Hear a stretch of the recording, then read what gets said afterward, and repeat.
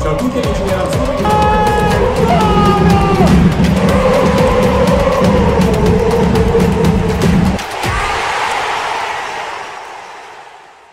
Ciao a tutti amici nerazzurri, buona domenica, bentornati su Filippo Tramontana TV, bentornati sul canale. Allora ragazzi, oggi è domenica, quindi video un pochino più tardi, eh, non alle 7 del mattino perché a domenica. Chi si sveglia alle 7 del mattino se non per prendere e andare con la famiglia in gita o farsi un giorno al lago, in montagna, al mare, dove volete voi. Quindi un po' più calmi, me la prendo più con calma anch'io. Poi oggi è la festa della mamma, quindi insomma eh, anche credo ci sia eh, la preparazione per un pranzo, per una festa con la famiglia e quindi oggi poi non gioca l'Inter, quindi siamo tutti più sereni, tranne me che devo andare dopo il pranzo a lavorare in tv. Allora ragazzi, prima però di iniziare con eh, il titolo del giorno, che ovviamente riguarda eh, l'Inter e Steven Zang, vi ricordo che ci sono dei miei amici che hanno una cosa particolare da dirvi e dovete visitare poi il loro sito perché esiste un metodo matematico per guadagnare con il calcio che si chiama matched betting.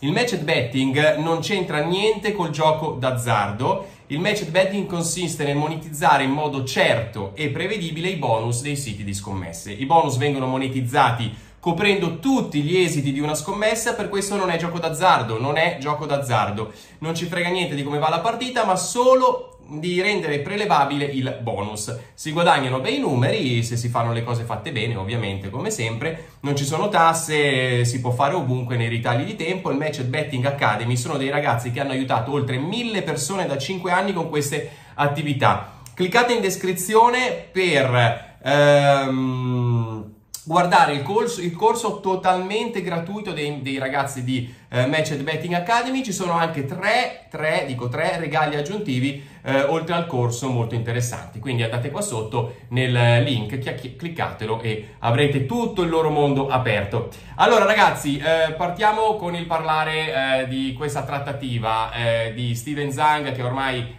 è agli sgoccioli, ne parlo da tanto tempo, eh, sinceramente il discorso PIMCO è venuto fuori dopo eh, tutto quello che io vi ho detto, non avevo idea di chi potesse essere eh, il nuovo socio di Steven Zang, però vi ho sempre detto che Steven Zang non aveva nessuna minima intenzione di lasciare l'Inter a meno che non fosse arrivata quella famosa offerta di 1 miliardo e 200 milioni di euro per prelevarsi tutto il pacchetto Inter, tutta la società Inter Zhang l'avrebbe fatto perché sarebbe stato un, uh, e sarebbe ancora adesso, un uh, grandissimo ritorno economico sull'investimento fatto qualche anno fa dal magnate cinese, però insomma eh, lo avrebbe fatto anche eh, con il cuore pesante, non a cuore leggero, perché lui si è affezionato al suo lavoro, a questa Inter, è diventato tifoso, è diventato tifoso del calcio, perché prima per sua stessa ammissione lo seguiva poco, ehm, e comunque ragazzi stiamo parlando di uno dei presidenti più vincenti della storia dell'Inter.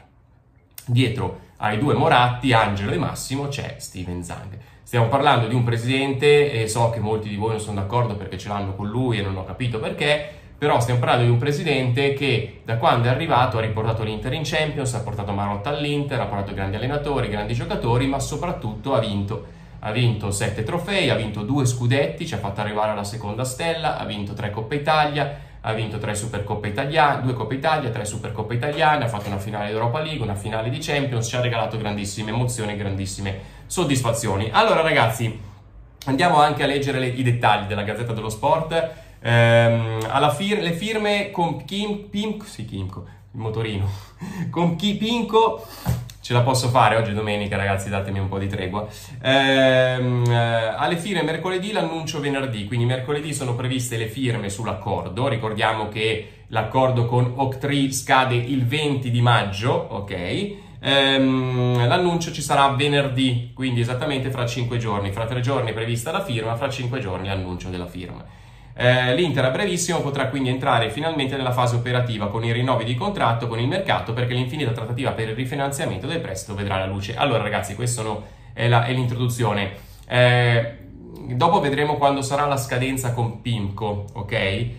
E quando vedrete capirete, la saprete sicuramente già quando sarà la scadenza con Pimco, capirete anche tante cose collegate che facevano, che potevano essere degli indizi per arrivare a questa fine della trattativa.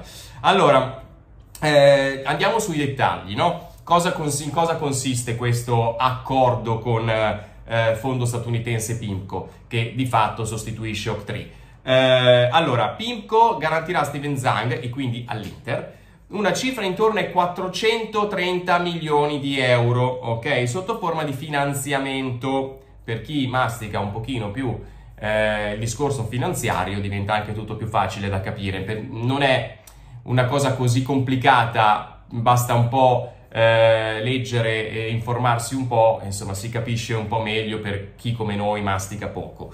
Eh, durata triennale, quindi 430 milioni, durata triennale durata triennale, quindi fino al... Ok. È il numero che permetterà al presidente nero-azzurro di tenersi il club, di fatto estinguendo il debito con Oct3 mm, e pagandolo, quindi dei 375 milioni che si erano accumulati come debito di Oct3, togliendo dal campo la possibilità che lo stesso fondo riesca, cioè, mh, mm, decida di prendersi impegno l'Inter perché il debito non è stato pagato. Ok, l'annuncio dell'accordo verrà, mh, mm, come abbiamo detto, venerdì, molto probabilmente, eccetera, eccetera. Poi su quello potrebbe essere prima, dopo, però insomma, questi più o meno sono i riferimenti eh, temporali.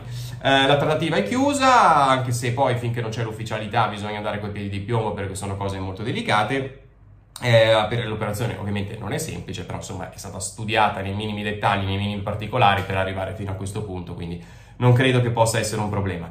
Allora, eh, cosa succede quindi adesso? Abbiamo detto il prestito di 430 milioni del fondo PIMCO dura tre anni, durata triennale, scade quindi nel 2027 eh, Zhang avrà molto tempo adesso per sistemare perché comunque i ricavi stanno salendo, in Cina le cose pare che stiano migliorando, i ricavi dell'Inter sono sempre superiori, eh, si punta al pareggio di bilancio nel giro di eh, un anno più o meno, massimo due, ma credo che entro l'anno prossimo, il prossimo bilancio potrebbe già essere vicino al pareggio.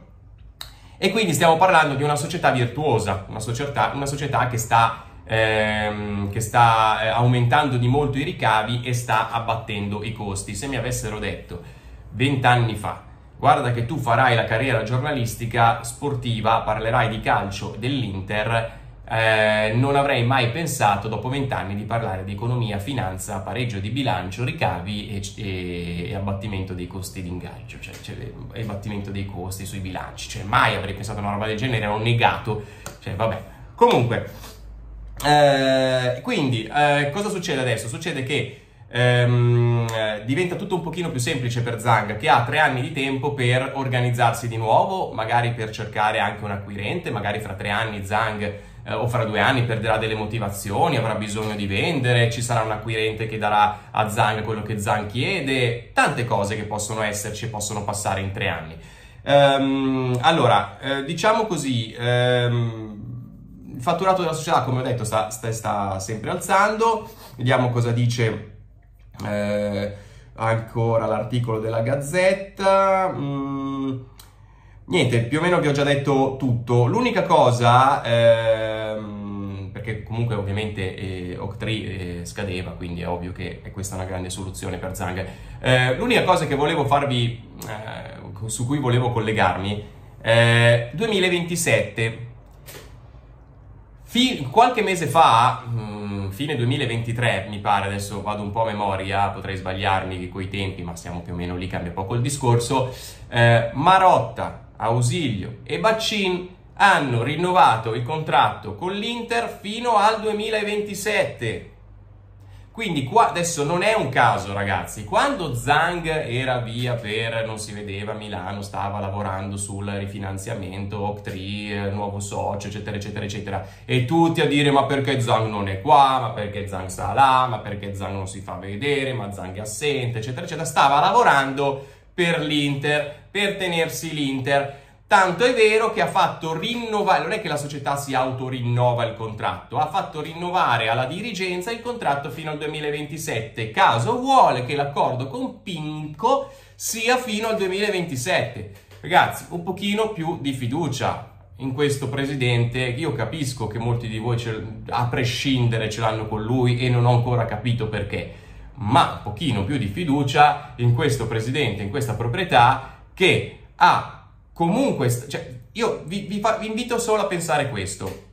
Se Marotta, che è il migliore di tutti, Ausilio, che è il più bravo di tutti, Baccin, che è il più bravo di tutti, ma se Marotta decide di lavorare per tanti anni per una società, sempre la stessa, e decide di prolungare il contratto con questa società non è perché gli danno i soldi e lui dice sì vabbè ma tanto io ho lo stipendio che mi frega. Lo stipendio Marotta come all'Inter lo può prendere da qualsiasi altra parte al mondo visto che è il più bravo.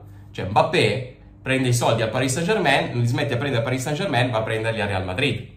Holland uguale chiunque dei grandi giocatori ok? Cioè normale Marotta è un grandissimo dirigente, se non prende i soldi all'Inter li va a prendere dall'altra parte, quindi non sta all'Inter per lo stipendio, sta all'Inter per il progetto e sta all'Inter perché all'Inter si lavora bene, lui lavora bene e i risultati si vedono, lo testimoniano. Perché lavora bene? Perché ha un proprietario che lo fa lavorare bene, se no Marotta, che è il numero uno, nel momento in cui annusa che le cose non funzionano, che il presidente non c'è, non lavora per l'Inter, eccetera, prende e se ne va.